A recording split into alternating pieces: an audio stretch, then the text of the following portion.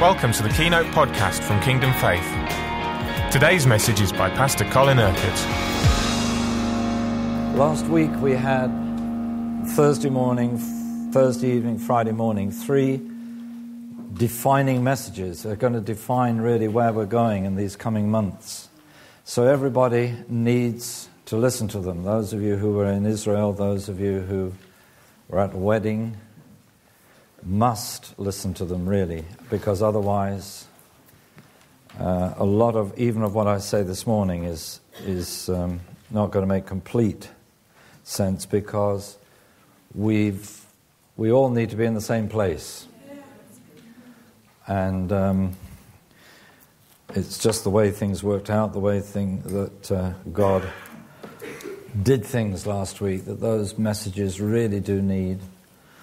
Uh, all of us to um, not only hear but take note of, live in the good of, because that's what these coming months are going to be about.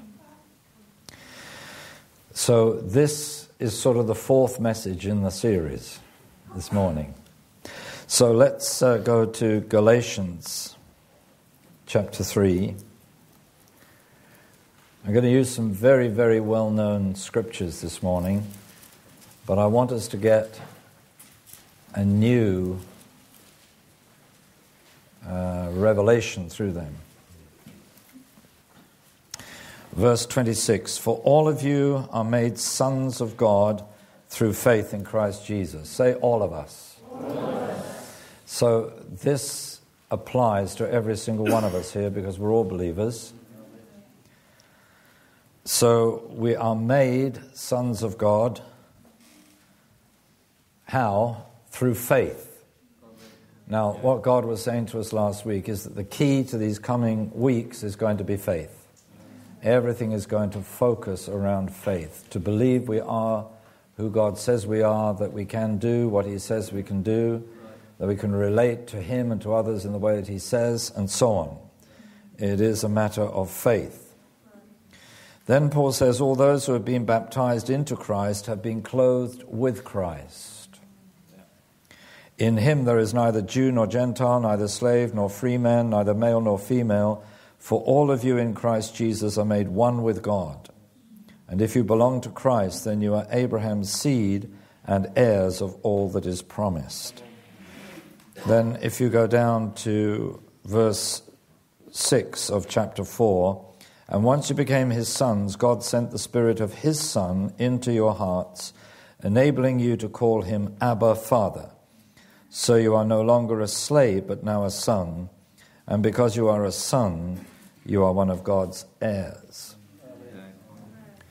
Right now, the first thing that we need to understand is that there is a threefold process that has taken place in our lives.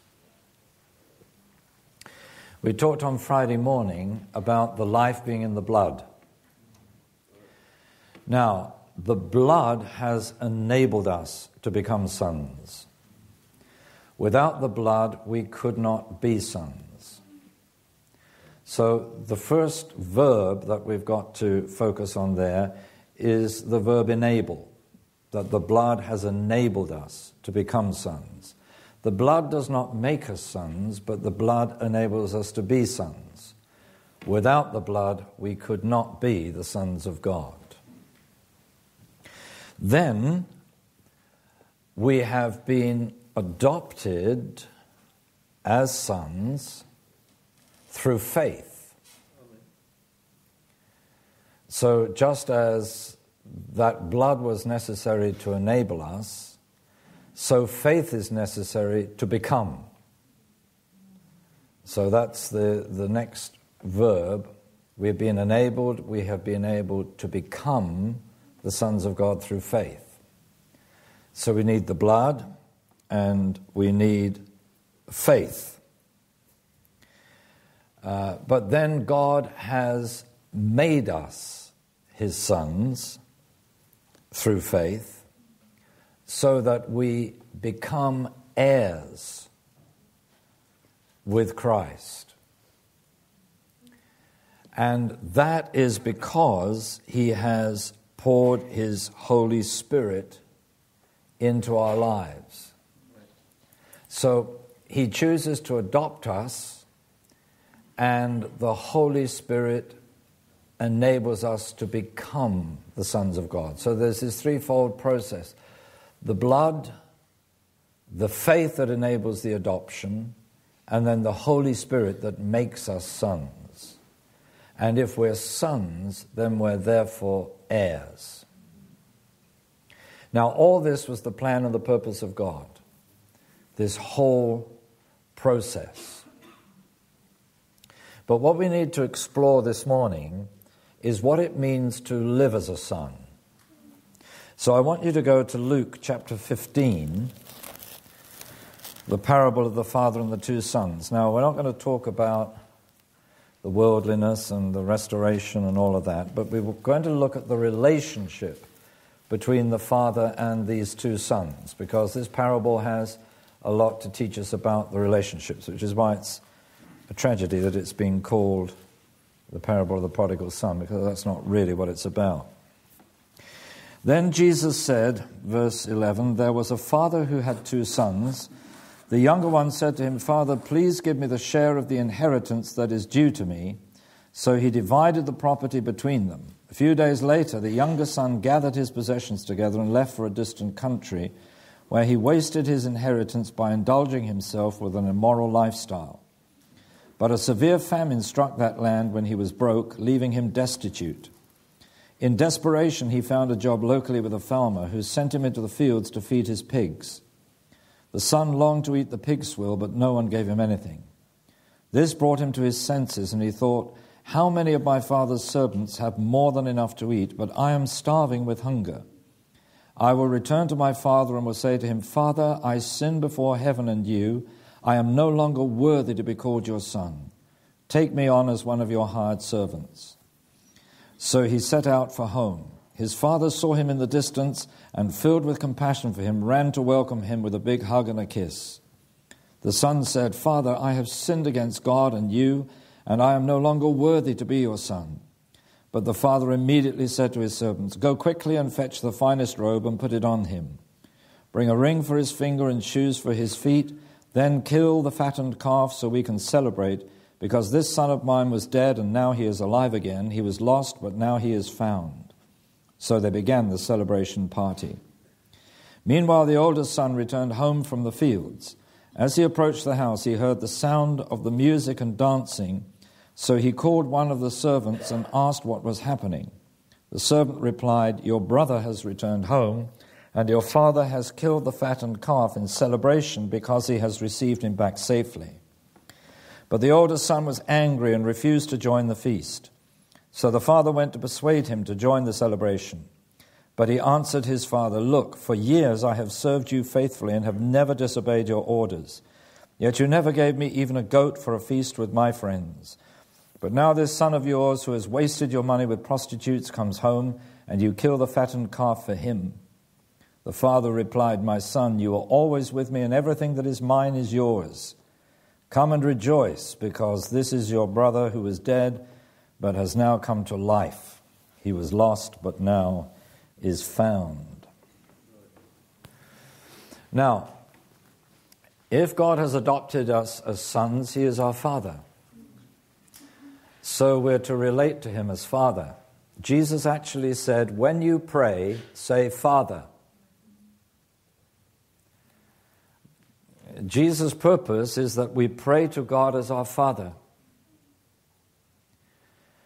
And the Holy Spirit enables us to cry, Abba, Father. We tend to pray more to Jesus than Father, and in one sense it doesn't matter because, you know, the Father and I are one, Jesus said. But God wants us to address Him as Father because it keeps us in constant reminder of our sonship. And he wants us to live as the sons of God. So, Paul says the Holy Spirit enables us to cry, Abba, Father, Father, Father. The Holy Spirit, if we pray in the Spirit, the Spirit is going to encourage us to cry out to God as Abba, as Father. Abba is, is not daddy. I mean, it is the word that a little child would use, but it, it is not used in, in Hebrew, in the biblical context, in the same way as we say dad or daddy, because it, there is a profound respect in this word, which is often missing in, in uh, relationships today. So when Jesus talked about his father, if anybody could call him dad, it would be Jesus. But he always says, Holy Father, righteous Father, Heavenly Father, profound respect for his Father. And that's how we should think of him. Yes, Father, yes, intimate with him, but profound respect all the time. He is the Holy Father, he is the Heavenly Father, uh, he is the righteous Father.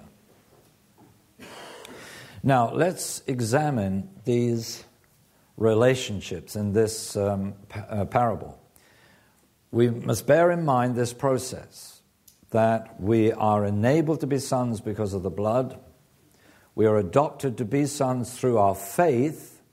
So there has to be the repentance that lays hold of the blood, the faith that enables the adoption, and then we're made sons by the Holy Spirit's activity and that means when we're born again of the Spirit. And then, of course, we become heirs with Christ of everything that God has. So that, that is, if you like, the foundation of our sonship. Right, now, what happens in this parable? There's the Father, clearly in this parable representing God as Father, and there's two sons. Now, both sons have inheritance. And this is not talking about a future eternal inheritance because the younger son asks for his inheritance now. Now, what you see in that son is the operation of faith. He comes to the father expecting the father to give him his share of the inheritance. That's faith. Uh, it was almost a, a, demand give me my share of the inheritance. I am claiming this inheritance now. So there is a faith in, in the whole of his attitude, his thinking, his mindset as he approaches the Father. He does not anticipate that the Father will refuse him. He expects to receive the inheritance that he's asking for. So this younger son has a faith that the older brother does not have. Because the older brother has never come to the father expecting anything. He hasn't even asked for a goat, so he hasn't even got a goat. I mean, if the father was willing to give the younger son his whole inheritance, he would surely have given the older son a goat if he'd asked for it. So you see the contrast here between these two sons. One is a person of faith, and the other is not. And therefore, because he does not operate by faith, then uh, he does not he is not able to enter into his inheritance. Now what is the difference between the two? The younger son thinks like a son but the older one thinks like a servant. The younger one has a son mindset. I am a son, he is my father. If I ask for his inheritance, he will give it to me. Very simple. When you are part of a family, you know that you have certain privileges, rights uh, as part of the family.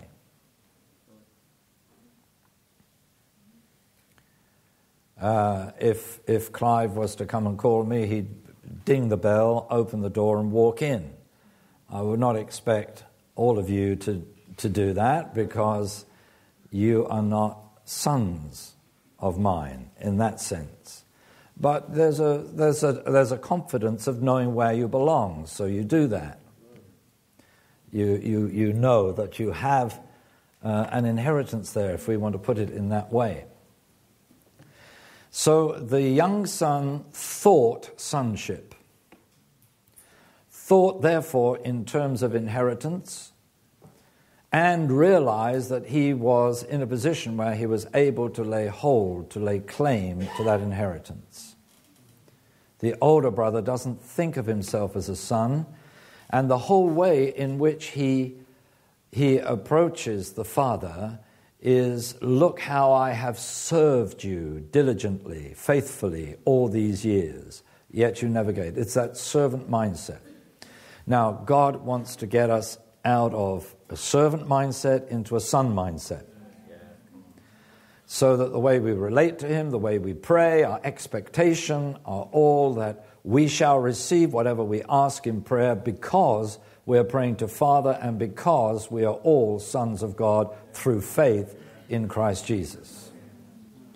That we have all been enabled to be sons because the life of the Son was in the blood, and if we have been sprinkled with the blood, then that qualifies us for sonship. It doesn't make us sons, but it qualifies us for sonship. For sonship.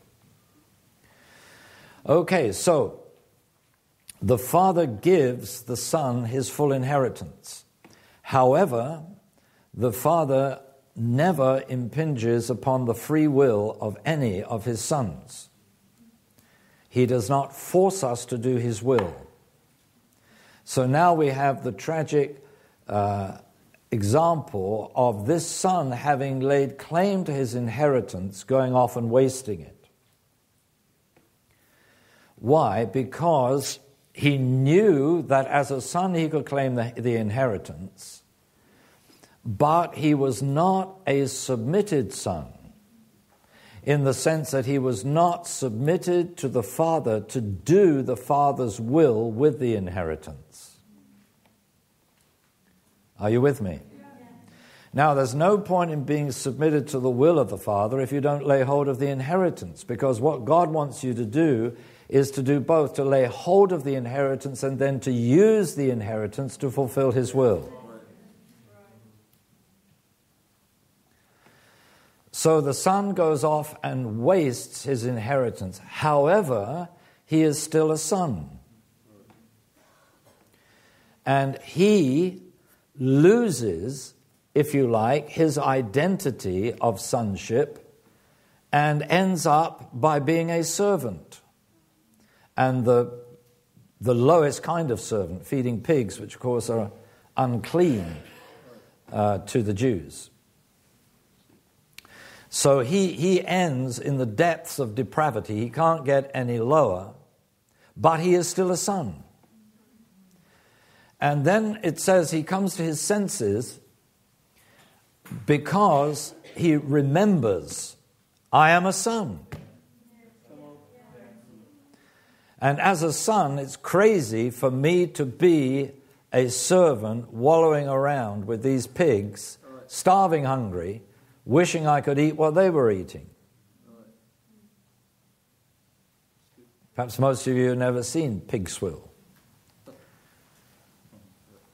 Uh, during the war, uh, I, I, can remember all the, there was a communal bin, and everybody had to put all their sort of vegetable peelings and cuttings and everything in this bin. Nobody was allowed to put any glass or anything like that, anything that could damage, because that was going to be turned into pig swill. So I would sometimes have to take our stuff to put it in this bin, and you open the lid, and it stank. And that was only in the process of becoming pig swill. So he must have been desperate to be longing to eat what those pigs were eating really desperate. Why? Because he'd lost sight of his sonship. But then, then he remembers, well, I am a son. But he still does not expect to be restored by his father as a son. Take me on as one of your hired servants. I've lost the privilege, I've lost the right to be regarded as a son because of the way I've wasted my inheritance. This is the way he's thinking. However, it's not the way the Father thinks. Because as soon as the Father sees him coming in the distance, he runs to meet him with a great big hug and a kiss. Why? Because this son of mine was dead and is alive. He's lost, but he's found. He is still a son. Nothing can destroy that sonship. Now, he hasn't lived as a son for a whole period of time. He's wasted the inheritance, but he is still a son. You can have good sons, bad sons, but if you have a son, that person will always be your son no matter what he gets up to. He could end up a murderer, He could end up in prison, but he'd still be your son. So here we have this, this uh, restoration of this son back into his privileged position. Now he's lost ground because he's wasted his inheritance. But nevertheless, he can live again as a son. And even though that which was his by right has been wasted, the Father is still full of grace. The best robe, ring, shoes for his feet, kill the fatted calf. It's all grace, grace, grace, grace, grace. He doesn't deserve any of it, but already the Father is lavishing gifts upon him because he is now restored as the Son. What is the Father wanting to accomplish in him? Is he just wanting to bless him? No. He wants to restore his Son mindset. You see, what, what he said to the Father is, Father, I am no longer worthy to be called your son. And the Father cuts him off. He doesn't even let him finish his pre prepared speech. He cuts him off at that point because that is a statement of unbelief. That's a statement of denial of the truth. Because he is still a son. So he's not going to hear the bit, treat me as one of your hired servants. No, so he, he is putting him back in the place of sonship. Now we have the older one who doesn't think in terms of sonship and inheritance. I am here to serve. Now, actually, of course, in the whole Jewish um, way of things, the elder son has the first right of inheritance. So he had a greater right to inheritance than the younger son, but he doesn't have that faith mindset. Are you breathing? So he is just slaving away, doing his stuff, not expecting anything from from the Father in terms of graciousness. So he is annoyed when he hears the celebration party in progress and hears what it's all about. Because to him, the Father is being unjust. This young son of yours, not brother of mine, but son of yours, has has uh, wasted your inheritance with prostitutes. Here I've been faithfully serving you, and you haven't given me anything. Now, the father's answer to that is, Well, you haven't asked for anything. My son, you are always with me. Everything I have is yours. If the younger son has already had his inheritance, then everything that's left belongs to the older one.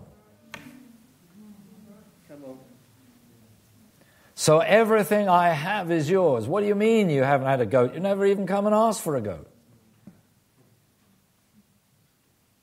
If you didn't expect, you, why didn't you ask for a goat? Because you didn't expect I'd give you one. You don't have a sonship mentality. The younger one did. Okay, he wasted his inheritance, but he had a sonship mentality. He lost it, needed to have it restored, but the older son didn't even have a sonship mentality. Now, what does that teach us? You can be a son and not think of yourself as a son. Now, that could be true of several people in this room. That you don't have a sonship mentality. I wouldn't, judge you for that because it wasn't until 1970 that I got a sonship mentality. And that is what actually was the key to the revival beginning in, in um, Luton and everything that followed thereafter. Just that revelation that I was a son of God transformed my life and ministry, transformed that church, and the rest is history. How that impacted the nation and many other nations and so on. But it all came out of this simple revelation that I was a son of God. I was reading not actually the Galatians passage, but the Romans passage at the time. And I suddenly realized not that I needed to become a son, but I was a son of God. And what that did to me was I realized I need never again minister as an Anglican clergyman. I was a vicar at the time, and I need never again minister as an Anglican minister. Now, everything I do will be done as a son of God. I will preach as a son of God. I will pray as a son of God. I will heal like a son of God. I will relate to others as a son of God. I will relate to God as a son of God. Everything I will do as a son of God. I will think as a son of God. I will speak as a son of God. I will act as a son of God. It was just a revelation that came in a moment of time. I mean, it was as quick as that, and I just realized that everything in my life from that moment was going to be done as a son.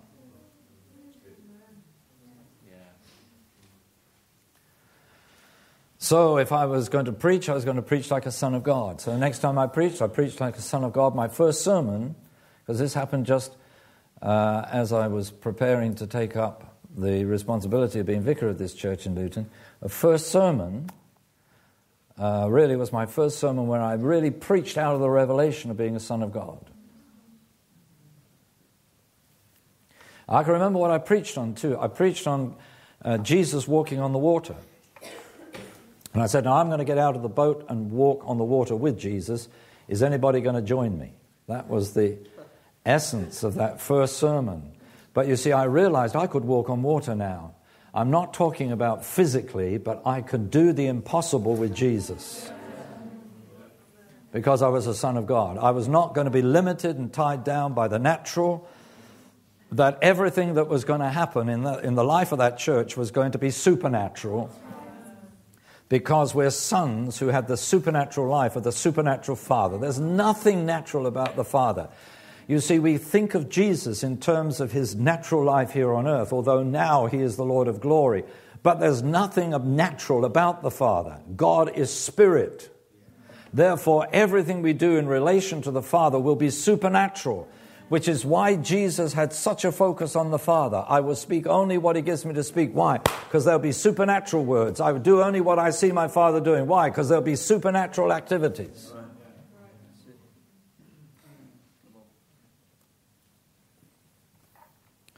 So, if, as, as God was talking to us last Thursday, if we're going to be like Jesus, which is his call upon our lives here and now, not in the future when we go to heaven, if we're going to be like Jesus, then we're going to be living in the supernatural. We're going to therefore need a sonship mindset so that we anticipate the supernatural every day of our lives. Whatever we're doing, when we pray, we expect supernatural uh, answers when we, when we, whatever we're doing, when we're going out and witnessing, we're expecting the supernatural. When we pray with people, it's got to be the supernatural. Why? Because it's Father in the name of Jesus. Are we getting this?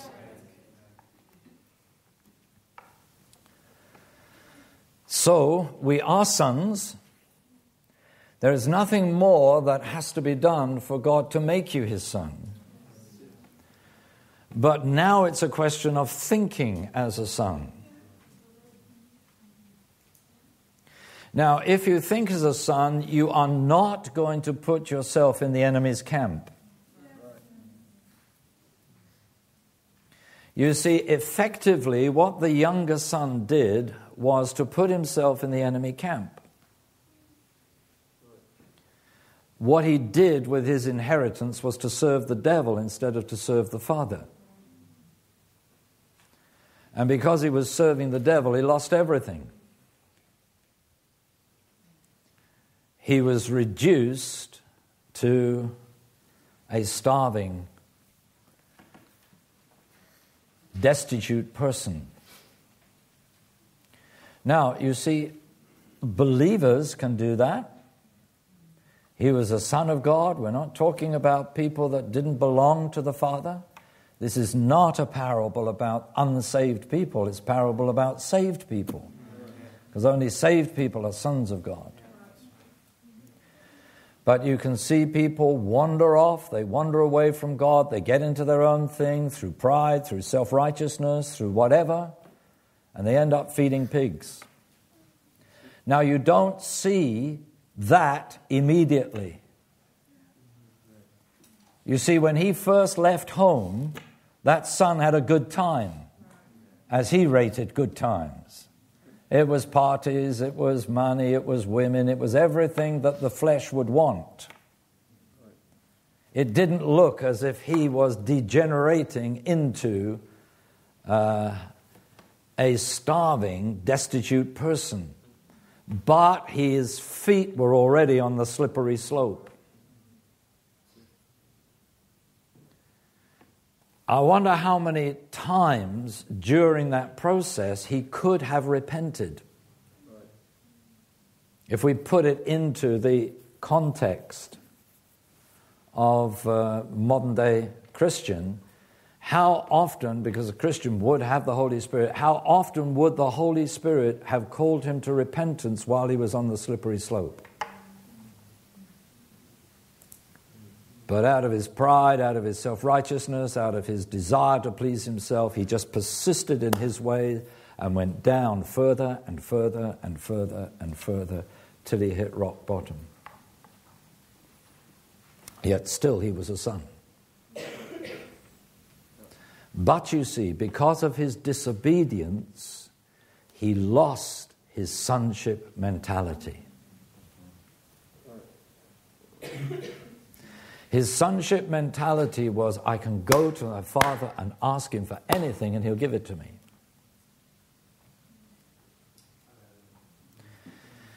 But he lost any confidence to do that. This is why John says in his first epistle that we have confidence before God and receive from him whatever we ask because we obey his commands and do what pleases him. You see, obedience and submission to the will of God gives you confidence before God. When you don't have confidence before God, the only way you can survive is to try to stir up a self confidence that is of the flesh, not of the spirit. So you'll often find in disobedient Christians, I'm all right, I'm all right, there's nothing wrong, it's fine, thank you, I'm doing very well, I know, I know, yeah, the Lord is with me, yeah, yeah. It all sounds so good. But actually, that person is on the slippery slope of losing all sense of sonship, of confidence before God, because of disobedience because of unbelief, because of whatever. So you can see that disobedience robs people of that sonship identity. They don't cease to be sons, but they don't identify with the fact as sons. And unbelief has the same effect because that was the older brother's problem. Now, if you've got a combination of the two, the unbelief and the disobedience, you're in a right mess, aren't you? and there are some people like that, let me tell you. But what God wants all the time, excuse me, is to restore us to his best. Now, the way he restored the younger son was to forgive him to receive him back into his status as a son. The way he dealt with the older son was to get him to join the party. Now, uh, this is something that we've got to come to terms with, you see, because in this parable there are two parties. There's the right party, which the father puts on, and there's the devil's party, where the prostitutes were. Hello? Now, the younger son made the mistake of going and joining the devil's party. The older brother wouldn't join either party. He didn't know how to party. he obviously had never been to Roffey, had he?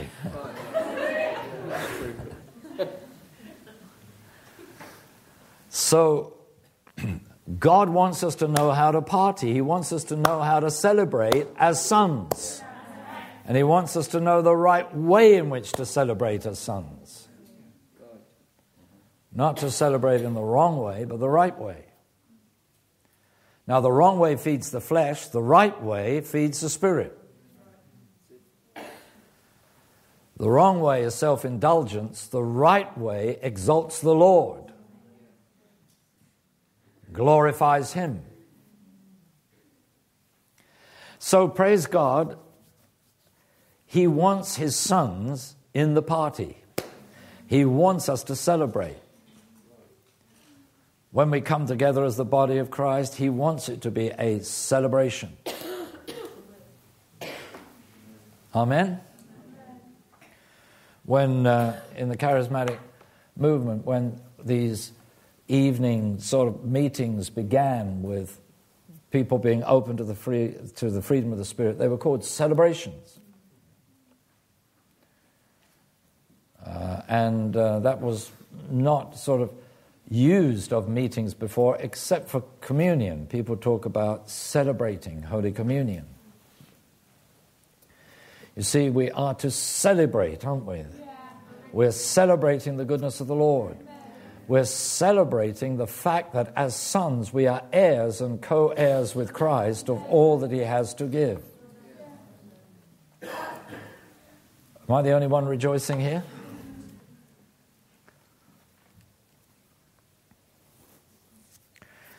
Now, where do you get the sonship mentality from? Believing what the Word says. We're all sons of God through faith in Christ Jesus. So if we believe what Christ Jesus has done for us, what Christ Jesus has made available to us, who and what we are in Christ Jesus, we will live as sons. Now, God was talking to us on Thursday about what it really means to be like Jesus, which is his call upon every one of us, which is why you need to hear that message. If we're going to live as the sons of God, we're going to live like the Son.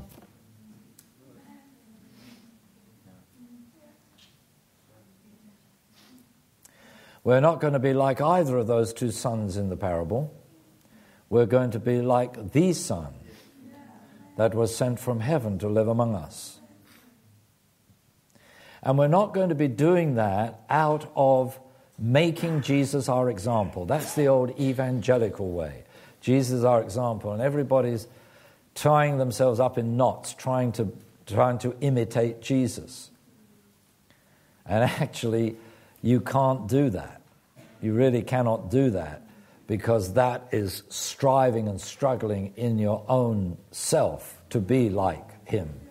The only one who can be like Jesus is the Holy Spirit and the Holy Spirit is in you. He is the other counselor who God has put within you. Now, the Holy Spirit, excuse me, the Holy Spirit wants you to enjoy your inheritance. The Holy Spirit says, Come and enter the party. but it's more than just a party. Because you've got to lay hold of your inheritance and use it, but not use it in the wrong way, but to use it for the glory of the Father and to bear much fruit for the glory of the Father.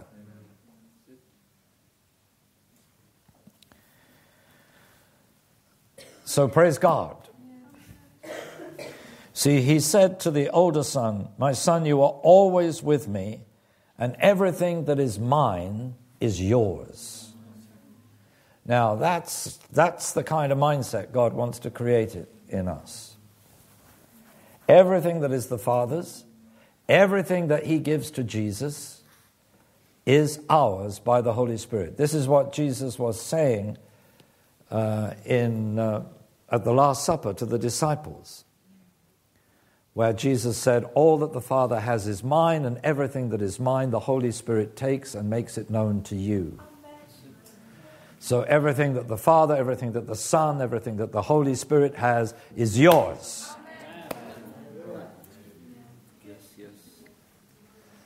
But all that has to be made known. Now, how is it made known? And remember, to make known in the New Testament is to make known in your experience, not to make known in your head. So, how does all this get made known? by faith. Uh, how, how can your level of faith be assessed at this moment? Very simply, by what measure you are at this moment laying hold of your inheritance.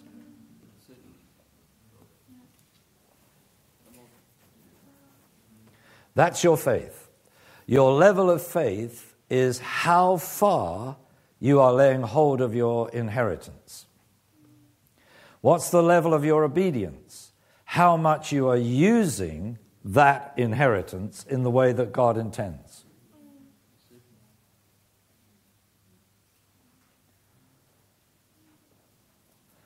Trust and obey, for there's no other way to be happy in Jesus but to trust and obey. The old hymn sums it all up faith and obedience. Faith enables you to take hold of your inheritance, obedience enables you to use it in the right way. And we all love that word, obedience.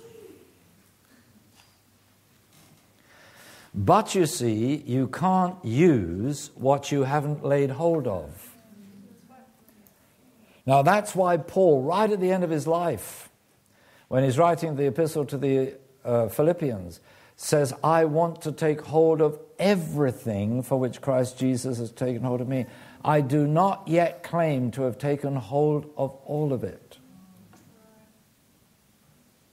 The inheritance is so great that you can be a Paul who has served the Lord for 20, 30, well, probably 30 years by then in a wonderfully fruitful ministry, and yet he's still saying, Well, I haven't taken hold of all of it. But I'm forgetting what lies behind. I'm forgetting what I've already taken hold of. I'm reaching out for that which lies ahead. I'm reaching out now for everything that I have not yet laid hold of. Now, who knows that that's a good mentality? And that's a good attitude to have. And that's the attitude for this term. Now, of course, you can only lay hold of what you believe is yours. You see, if you lay hold of something that you don't believe is yours, then you could accuse yourself of stealing. But you don't steal an inheritance.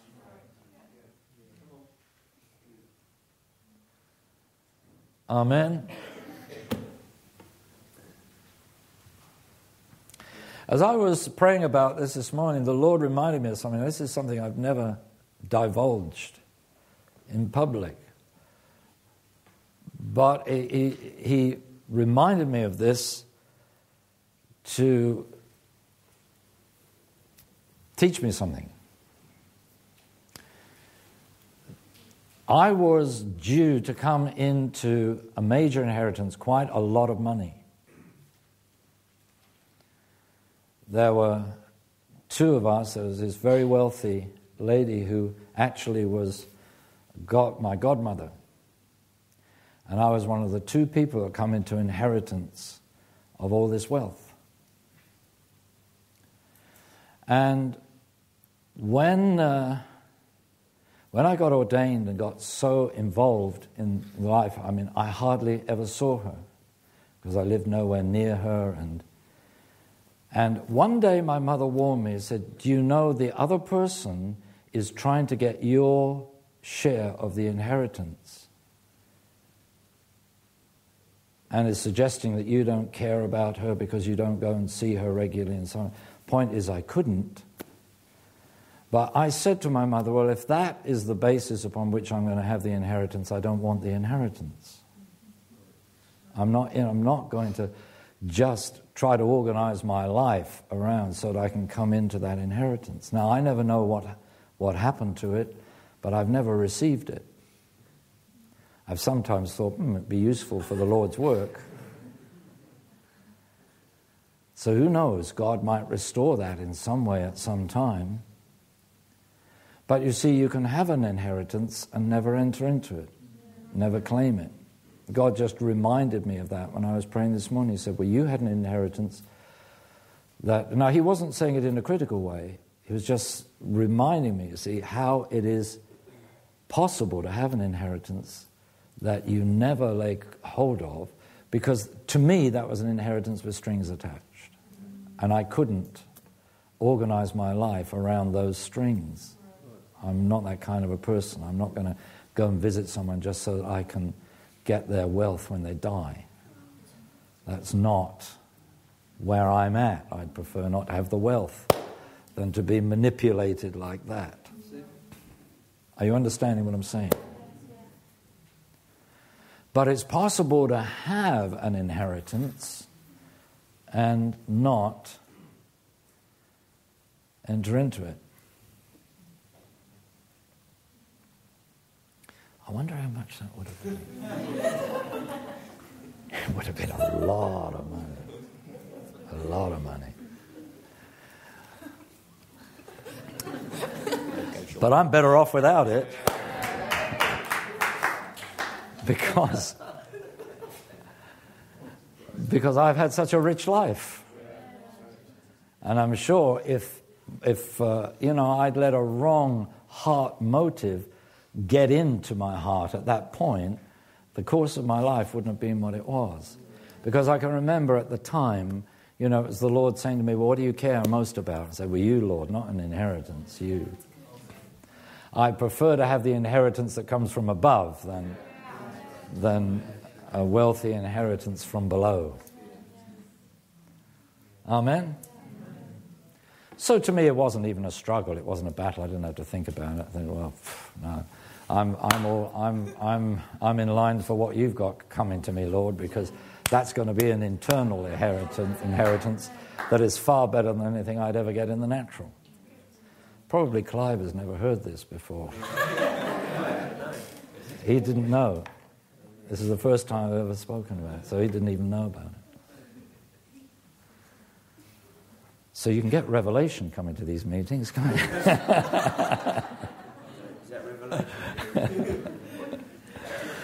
so praise God.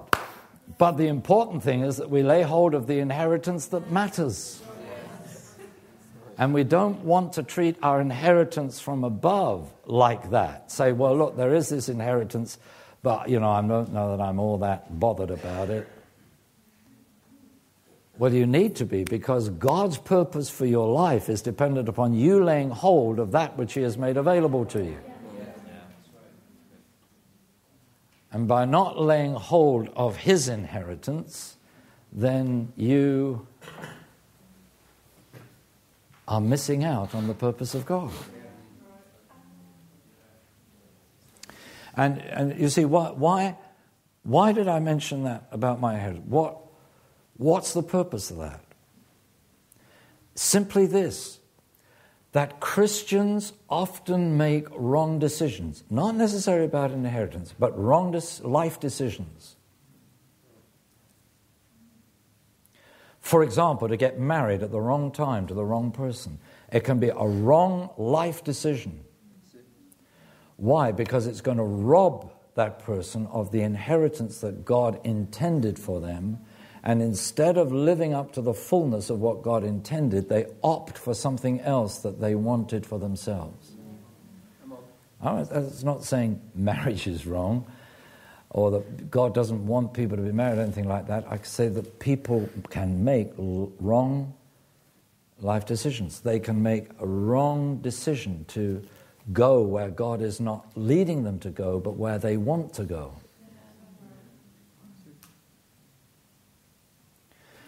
Of making a wrong life decision because they enter into some kind of, of uh, career where they are going to be financially rewarded, but it's not God's purpose for them. And what those wrong decisions do is to limit a person's capacity for entering into their relationship. Uh, sorry, their inheritance. Of really being able to take hold of their inheritance. They have restricted themselves. And you could say that both the brothers in that thing made wrong life choices. Even the oldest son made a wrong life choice. I'm just going to be a servant like all the other servants. I'm not going to live as a son. I'm not going to ask my father for anything. So, how important it is that we make the right life choices. And there again, those are choices of faith and they're choices of obedience, of submission to the will of God. And both those things have to operate the faith and obedience. Praise the Lord. Hallelujah. Glory to God.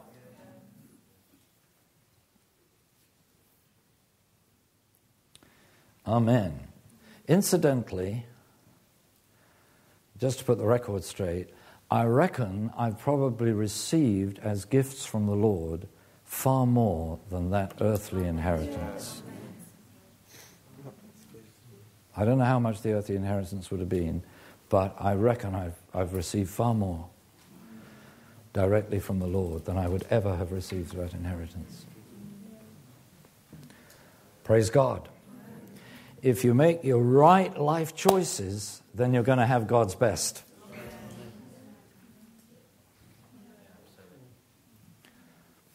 Amen? So, where do we go from here? We walk by faith as the sons of God. We lay hold of our inheritance every day.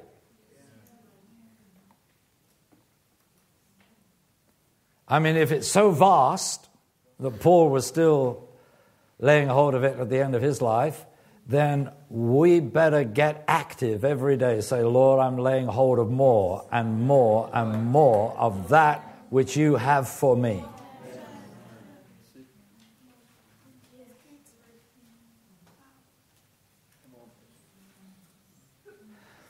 And you see, I believe when you, you're concerned, well, what, where, what, what life are you going to have after Roffey? I believe that depends to a great extent on how much of your inheritance you lay hold of. Because that will determine what God is able to do with you when you leave.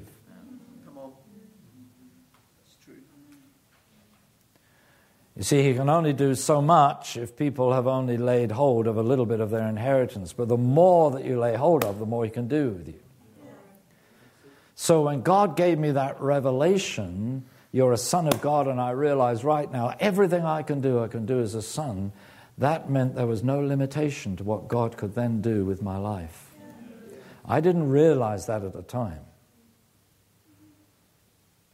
It was only when I came to write my first book, When the Spirit Comes, that I really realized how crucial, how key that revelation was. Everything. So the first page of the first chapter is, is all about that revelation of sonship, what actually happened. So you're a son of God yes. through faith. Yes. So, how are you going to live as a son? Through faith. Yes. How are you going to lay hold of your inheritance by faith. What are you going to do with your inheritance? That which is by faith in obedience to the will of God. Amen. Simple message this morning. All of us can understand it, so all of us can do it. Let's stand. Hallelujah. Hallelujah.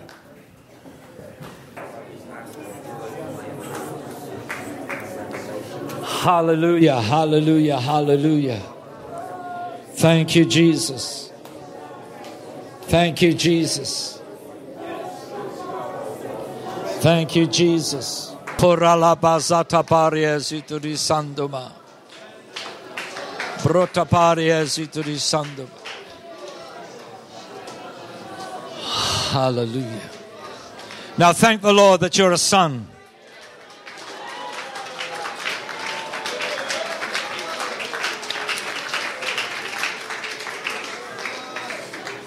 The blood enabled you to become a son. The Father chose to adopt you, and by faith you became a son, and the Holy Spirit made you a son. Hallelujah. And the scripture says, because you're a son, you are also an heir. So thank God that you're an heir of God and a co heir with Christ.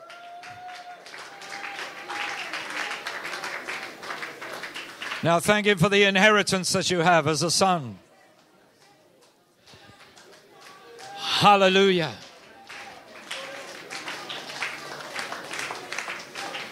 And tell the Lord, by faith, Lord, by faith in you, by faith in your love, in your grace, in your mercy, I'm going to lay hold of the fullness of my inheritance. Day by day, I'm going to enter more and more fully into that inheritance. I'm going to take hold of that which is mine in Christ. Hallelujah. I praise you, Jesus. I bless you, Lord. I give you all the glory. I give you all the honor. I give you all the praise. Bless you, Jesus. Bless you, Jesus. Bless you, Jesus. Come on, Lord. Come on, Savior. Come on, Father.